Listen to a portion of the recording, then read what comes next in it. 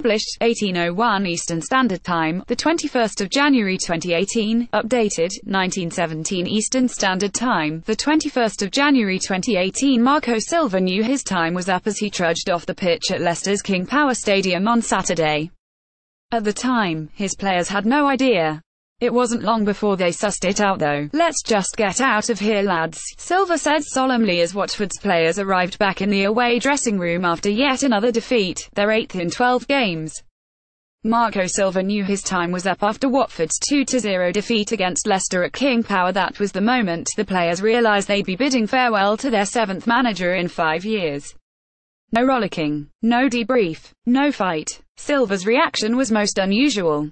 Under the Portuguese, players were used to constructive post-match discussions.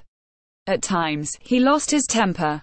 In particular, Silva fumed at his players during a dressing room inquest after a 2-1 defeat at Crystal Palace in December. Having taken the lead in the third minute, Watford conceded twice late on to snatch defeat from the jaws of victory. Silva, who had watched his team miss a glut of chances, was incandescent. He let his players know about it. After Saturday's loss at Leicester there was no such reaction. Silva's demeanour was indicative of what was to follow.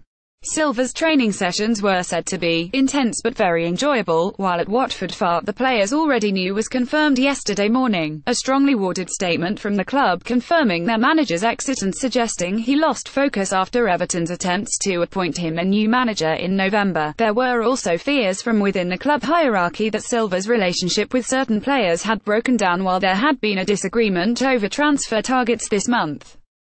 It is understood the argument saw the club's Italian owners question why they should invest in players identified by Silva when his own commitment to the club had been in doubt. Undoubtedly, there is a semblance of truth to that argument.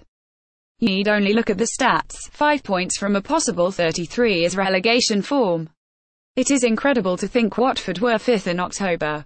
Did he lose focus? Was his head turned by Everton? The numbers make a convincing argument.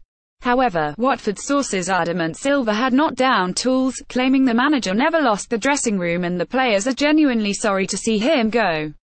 Silva's training sessions were said to be intense but very enjoyable. A far cry from the monotonous regime of previous manager Walter Mazzarri. But maybe training was too intense. A key reason behind Watford's startling spiral has been the glut of injuries. Watford have 12 players on the treatment table, five of those are muscular problems, indicating a conditioning deficiency in the squad. Richarlison's right fatigue levels are of major concern after having no break in the summer in particular, Richarlison's fatigue levels are of major concern. The Brazilian has been one of the discoveries of the season, but the winger is exhausted.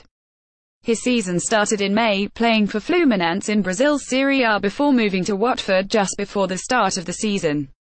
Silva has known for weeks that Richarlison needed a break. He insists on seeing his players' individual fitness reports, which left members of the medical staff frustrated at times.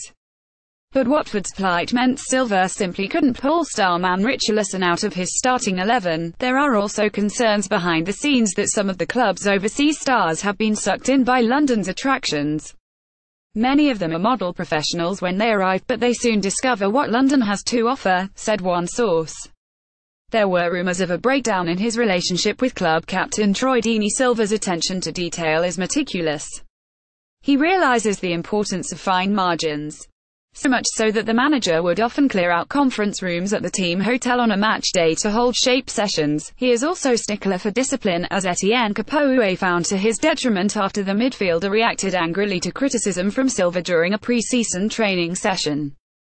Capoue, a regular last season, started just five Premier League games under Silva. Silva also demands impeccable timekeeping from his players, implementing a strict fine system for latecomers. Silva personally took it upon himself to ensure fines were paid. It may sound all a bit extreme, a bit controlling. But players embraced his management style because they recognized his talent. There were rumors of a breakdown in his relationship with club captain Troy Deeney.